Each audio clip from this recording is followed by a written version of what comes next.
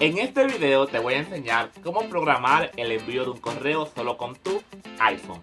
Después de la intro te lo enseño. Hola, soy José Miguel, bienvenidos a mi canal.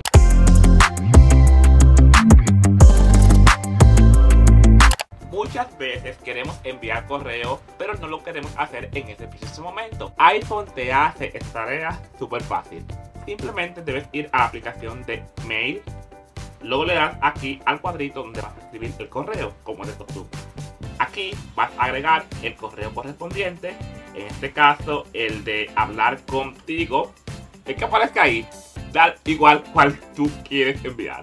Simplemente cuando tengas el correo vas a poner el caption correspondiente o el sujeto y vas a escribir el correo que quieres enviar. Luego de esto, simplemente le das aquí a circulito y lo vas a dejar presionado. Ahí te va a aparecer un sinnúmero de opciones. Si tú quieres elegirlo a las 9 pm, a las 8 pm de mañana, simplemente le das ahí y se va a enviar de acuerdo a lo que está ahí.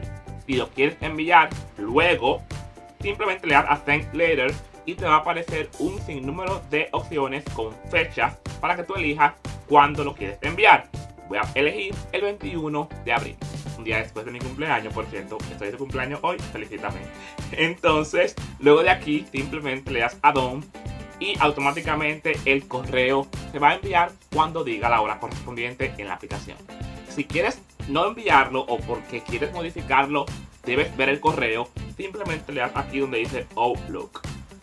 Luego de que le das Outlook, hay una aplicación o hay una sección que va a decir Send Later.